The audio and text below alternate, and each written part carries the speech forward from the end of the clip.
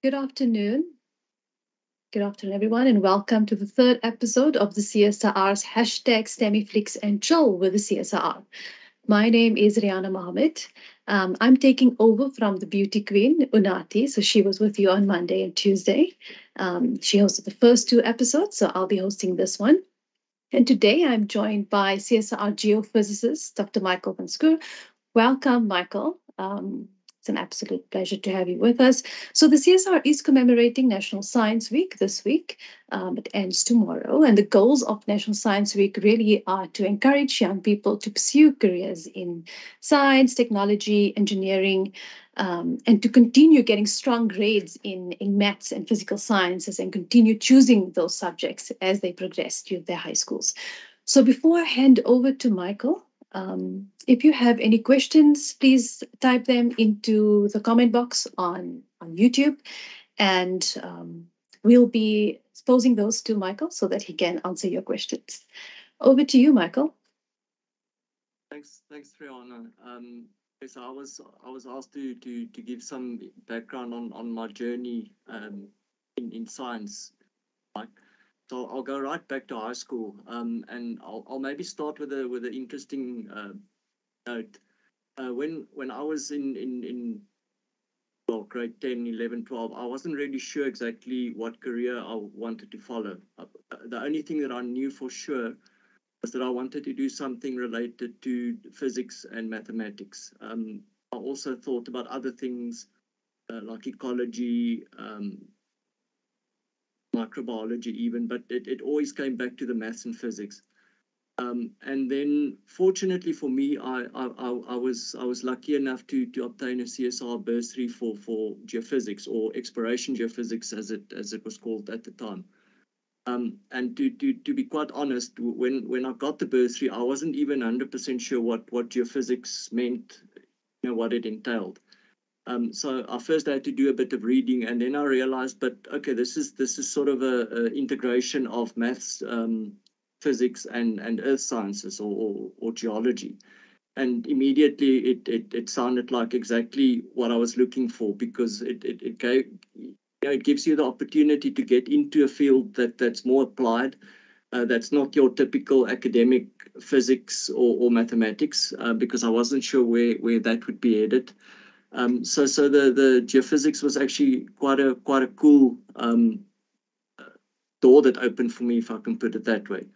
So then the, the the first surprise came. I had to to move from Cape Town, where I grew up, uh, to to Pretoria because the only two universities at the time that offered courses in geophysics uh, were Wits and and Tuks. So I came to to to University of Pretoria. Um, my first well, to, to do geophysics, you basically have to study a BSc. Uh, you, you start with a basic B, BSc with uh, subjects like mathematics, physics, uh, geology, of course, um, and then the rest is sort of, well, chemistry also. But then from your second year, you start specializing a bit more. Then, then you have to make the decision, do you want to have physics as your second major? Um, do you maybe mathematics. You can even do something like computer science or applied uh, mathematics as, as, a, as a second major. But, but then in your third year, you end up with geophysics or exploration geophysics as your, as your primary major. Um, I opted for the physics. Um, I also did some applied mathematics um, uh, courses, but mainly uh, physics and, and geophysics. You also do a lot of geology, of course. Um, as you move on in, in from second to third year, you do a bit less uh, pure geology, uh, less of the uh, chemical geology, if you can put it that way, more of the physical uh, geology, uh, economic geology, um, exploration geology, that type of uh, thing. Um, and then, of course, you have to do a fourth year. Um, like most science fields, to, to become a, a qualified scientist, um, you have to do a fourth year honors degree. Um, and my honors was then um, in, in, in pure geophysics. Exploration geophysics uh, was the uh, name of the subject at Tuks. Um, and then after that, I started working at the CSIR. I started in a, in a unit that did mostly groundwater and environmental geophysics.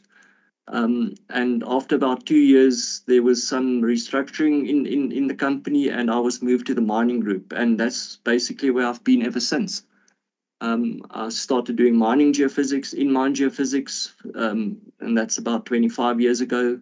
Um, and I'm still doing more or less the same thing. Um, I did complete a, a, MSc in the meantime, part time, um, and also a PhD in, in geophysics. So that's basically my journey. Thank you, Michael. Um, so we obviously just finished a very interesting uh, panel discussion now um, with the colleagues in the mining cluster. They spoke about the modernization of mining. And um, it just got me thinking as well that you know the skills and professions now required in mining, when we talk about the modernization of the industry, there's obviously a need for those with skills in ICT, in software development, etc. So, what does this mean for geophysicists specifically? How does the role of a geophysicist evolve when we spoke when we speak about you know the sector modernizing? Um, good question. I, I think if I could go back 30 years now and I could change my um, subject. Too bad choices, you can't. no, I, I, would probably, knowing what I know now, I would probably have maybe gone for something like computer uh, sciences or, okay. or, more of the applied mathematics. Um, geophysics is very, a very uh, data uh, intensive field. So, so we generate lots of data sets. Um, and to be able to manipulate those data sets and process them and interpret them i mean we we do have custom software and and we write our own little tools to to to work on on on the on visualizing the data and and processing it. But i think if if one had a, a strong background in in in programming coding um, data science uh, working with big data sets even statistics um, that would be really very helpful for for for the modern day geophysicist. It's quite interesting because yesterday the CSIR hosted a career day um, at uh, our Pretoria site. And one of the teachers actually raised their hand and she asked, you know, there's so much of interest in ICT. Um, is it still relevant? And it, I think um, uh, the one of the researchers that answered yesterday actually found that quite strange because like you you just said and like uh, our colleagues earlier just mentioned as well that there is such a big need for people with skills in ICT specifically because we're talking about modernization of industries as well as we spoke speaking obviously about the fourth industrial revolution. Okay, and then um, I've got a question over here. So, Michael, once one gets to tertiary institution, to a university, which degree is applicable to do uh, if one wants to become a geophysicist? Uh, well, as I said earlier, um, when, when I started studying, there were only two uh, universities, WITS and TUKS, that offered courses in geophysics. I think at the moment it's actually only WITS. Okay. Um, so to, to get into geophysics, you would have to start with your BSc and then uh, select your, your geophysics uh, specific course as your primary major and then work work around that.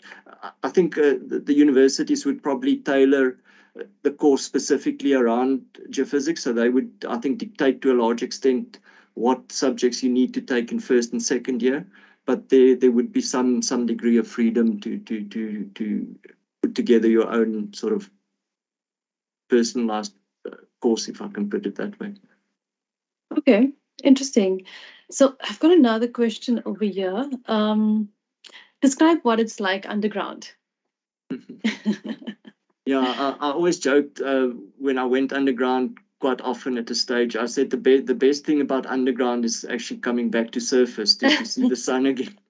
No, it's it's it, it, it's it's scary at first um, because it's it's new. It's it's it's it's a mm. dangerous environment. Um, but once you get there, and, and, and most mines are you know, are, uh, well ventilated and, and made safe. And, and it's actually quite a pleasant, well, pleasant is, is probably a strong word, but once you're underground and you start doing your thing there, it's actually not that bad. It's you, you get used to it.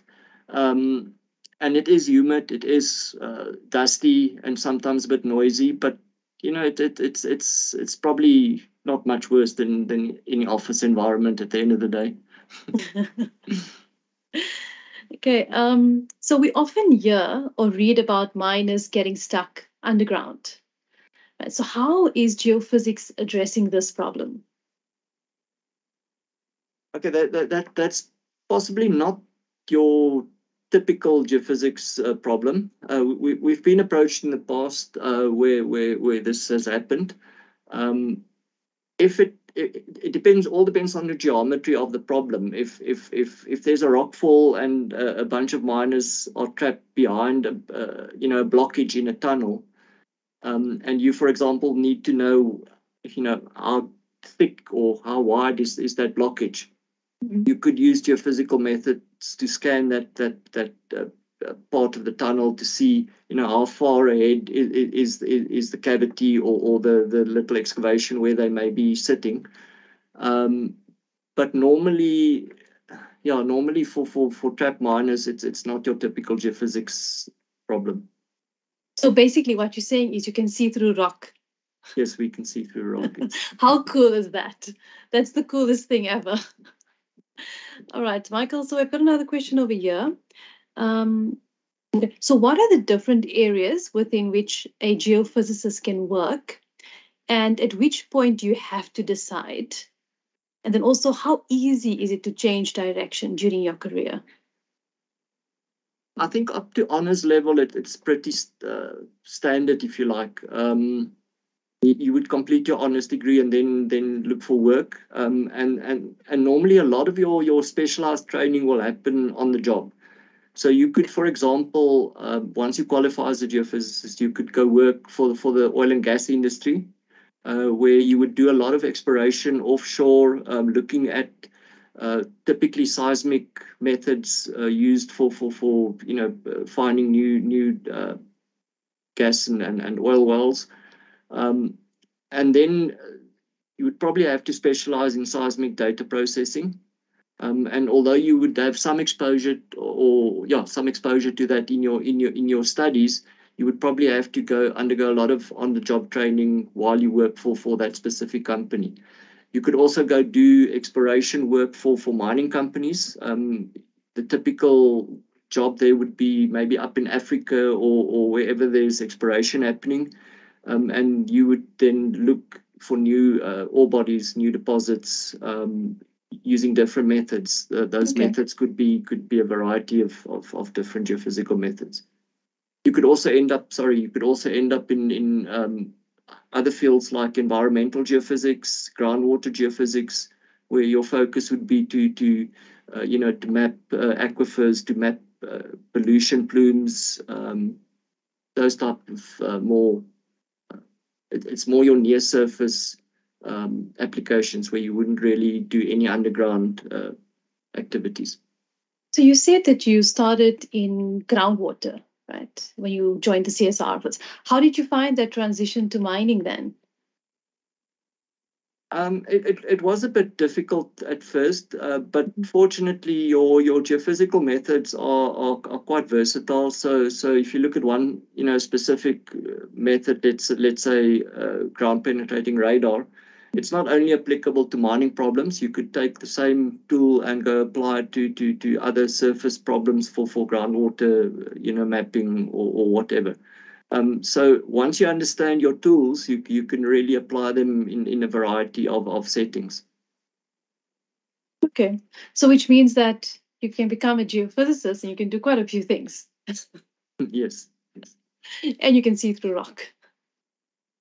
Coolest. Okay, so Michael, how is your work influenced by the fourth industrial revolution?